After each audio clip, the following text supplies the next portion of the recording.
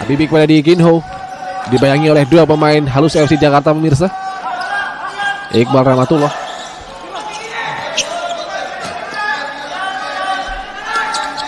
Lalu kali ini penetrasi Dieginho satu dua baik sekali Dieginho lagi-lagi menambah pundi-pundi gol mana musim lalu Dieginho salah satu top skor Liga Futsal Brasil kembali membuka kemenangan untuk sementara keunggulan bagi bintang timur Surabaya Dieginho 1-0 keunggulan sementara bintang timur Surabaya atas Halus FC Jakarta luar saja tadi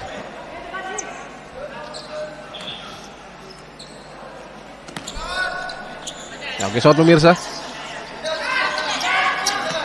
Coba Tiang Muhammad Rashid. Satu pergerakan di sana.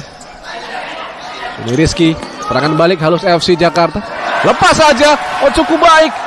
Mengagetkan di sana halus FC Jakarta. Serang mengagetkan. Mencoba serangan cepat dari Ahmad Adrian Maulana. Pemuda kelahiran Bekasi yang mencoba serangan dari sisi kiri dan mengagetkan Habibi. Dari seorang Ahmad Adrian Maulana berposisi sebagai anchor dan berasal dari Bekasi 22 tahun yang lalu. Secara cukup mengejutkan Halus FC mencoba memberikan perlawanan yang cukup solid kepada bintang Timur Surabaya. Ruang tembak yang dicari Galo 1-2 berbahaya pemirsa. Bintang Timur Surabaya mencoba tampil menekan Muhammad Iqbal 1-2 kali ini. Yeginho Galo maksud kami. Punggung 10 kali ini Firman Adriansyah. Galo Cukup baik tadi. Manfaatkan Galo dan juga umpan.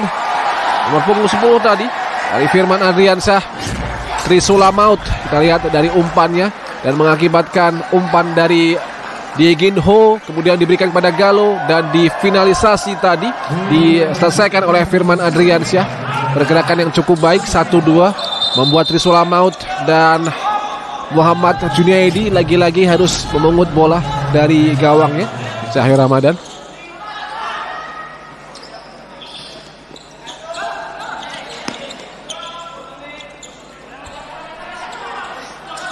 Buatin pemirsa.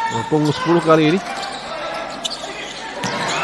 Bahkan langsung cukup baik Dari seorang bintang timur Surabaya Dari Muhammad Iqbal Rahmatullah tadi.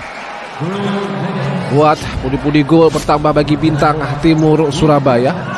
Sepakan kaki kiri yang tidak diprediksi oleh Junaidi Sehingga menambah pudi-pudi gol Bagi Muhammad Iqbal Rahmatullah Yang juga kelahiran asli kota Bogor kelahiran 27 tahun yang lalu